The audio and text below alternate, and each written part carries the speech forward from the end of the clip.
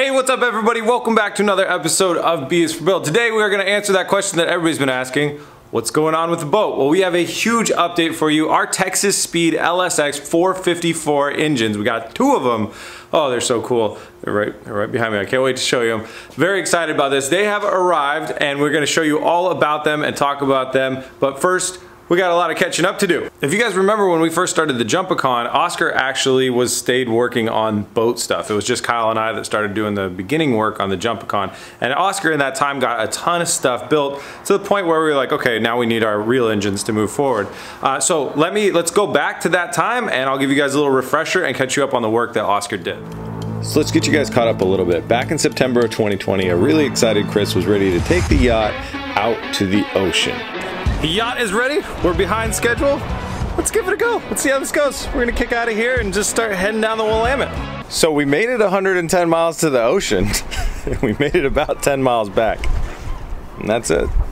The engine is engine is dead. And as you can see, it did not end well. So, so we got the yacht dry docked and started removing all the furniture to get access to the engines. And then we started pulling the damaged engine out of the yacht. Once we got the engine back to the shop, we started in on the teardown process and eventually found out the bad news. We had a damaged piston, we had a damaged cylinder wall, and really unfortunately is we had a lot of signs within our oil that we had damaged bearings on our crank. So at that point, we made the very controversial decision to replace the engines with gas ones. While we're waiting on the engines, we went after some restoration on the exterior of the boat, giving it a fresh paint job, making it look a lot better and more protected from the elements, sending a message back home to mom, and even protecting the exterior of our sacrificial anodes.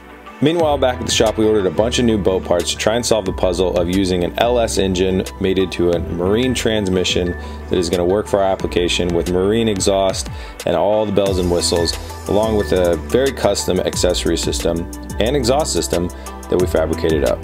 And that leads us to the point where Oscar started working on building the engine frames. All right, we're back in the shop and we got the engine here floating. And uh, the next step is now that we have all the measurements, Oscar's gonna go ahead and recreate basically the mounting points that are on the boat. He's gonna build that into a stand. So what we're gonna see is like all the four mounting bolts that we had is all gonna be sitting here with the engine floating under that. That way we can then build the mounts for the engine to mount into the boat.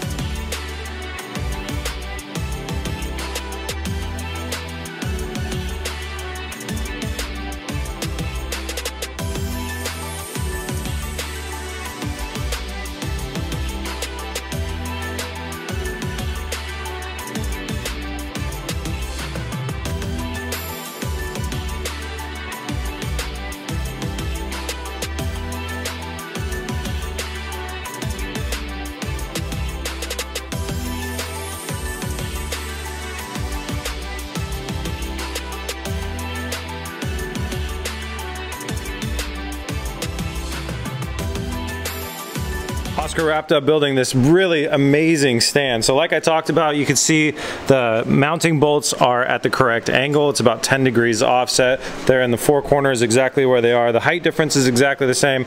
And then he even went back here and emulated the shaft. Um, so this is a prop shaft emulation. Uh, and then we have our flange on here and that, that's actually bolted to our transmission. So this is, you know, the whole game plan. As we get into the boat, these things have a little bit of adjustment so we can do minute adjustments to make sure we nail that angle perfectly.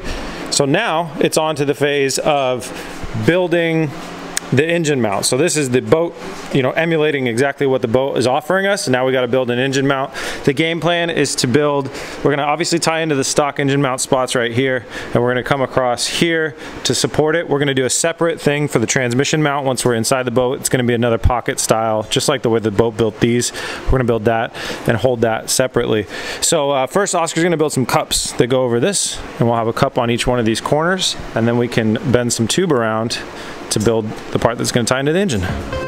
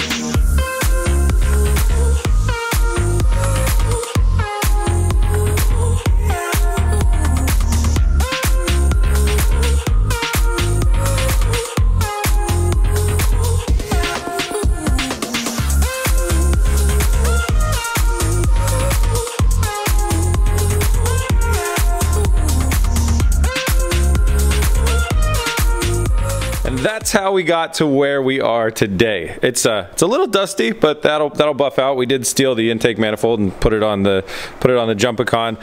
But uh, let me show you around. So you guys have seen the construction of the the templated frame, the engine mount, but then Oscar came in and built our reservoir stuff. So this is the heat exchanger. This runs ocean water through it, but then it also runs the antifreeze that runs through the engine and the exhaust manifolds to cool them back down. So let me be very clear when I say this. There is no ocean water going through the engine. It's antifreeze. It's marine grade antifreeze, so it doesn't po poison any animals, but it's antifreeze. Um, so you have that as a massive heat exchanger meant for a 17 liter diesel, so it'll be able to do the job. We just have to make sure it doesn't do the job too well.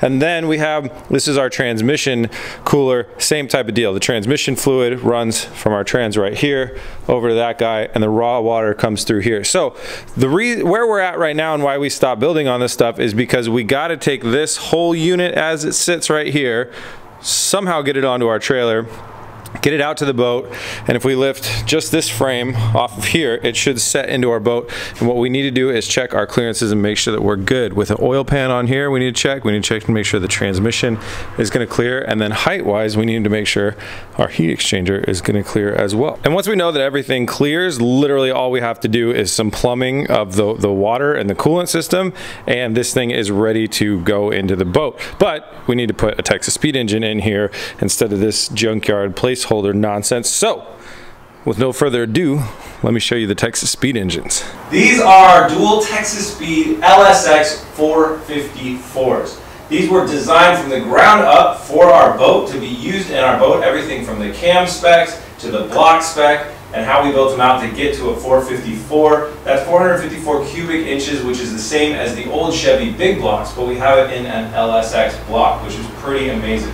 These engines are both built with the highest quality components on earth, built by amazing engine builders being Texas Speed. And man, these are going to rip. I was looking at these today and I think these are the coolest thing I've ever been able to just like write a check and have delivered to my house. Like, it seems unreal. It doesn't seem like they're mine. But, but they are, and we're going to use them. So first I want to jump into the sizing of these things. These are huge on a scale of just huge, huge for LSs. So your standard kind of LS like 5.3 is a 327 cubic inch block. It's actually 323, but GM calls it a 327. Doesn't really matter. These are 454. The larger engine that you have, the naturally the more torque it's going to want to build and that's why we went with such a huge engine. I'm guessing if you're watching the series you know a thing or two about boats but if you don't boats want a lot of torque so we basically wanted to build the torqueiest engines that we could and they definitely delivered that. Each one of these engines delivers 640 foot-pounds of torque naturally aspirated with no supercharger or turbocharger. We're basically starting this build off saying we're not going to use those if we need to later on if we need more power these engines can absolutely make it. Now these LSX blocks blocks are very special. They are tall deck. They're actually taller this way so we could get a longer stroke. So these are bored and stroked and that's how you get to that 454. The LSX block is basically special order from GM and it's their performance engine block. It's actually made out of steel rather than aluminum like, like you'd see in say a Corvette engine. Uh, so it can be a little bit stronger. It has, uh, it gives it the ability to have more bolts and stuff that hold the um, crank in there so you don't have, you know, it's just going to be able to withstand withstand a lot more abuse. But when I say if we need more power, we can make it, I, am not exaggerating in any way. These things with power adders on them, an LSX block can reach 2,000 horsepower. So we could, in theory, probably hit 2,000, I mean, because this is a built bottom end, again, with the best quality parts in the world. So if we wanted to make both of these hit 2,000 horsepower, I bet it's possible. It's just not exactly what we wanted for the boat application. Race car, yes. Boat, we're just trying to get lots and lots and lots of reliability. So we're taking a block that can handle 2,000 and we're delivering much less on purpose for reliability's sake. Horsepower wise, these babies come in at 750 horsepower a piece. That's again without any power adders or anything on there. So 1500 horsepower and uh, what's the math on the torque? And I think 1280 foot pounds of torque out of this package right here. It's pretty incredible. So there are a lot of people that commented about us sticking with diesels because you needed the torque. Now obviously these engines have a ton of torque, but people that actually know about engines and engine building and stuff like that know that torque is a calculation of horsepower and RPM. You can swap RPM zones to get more torque.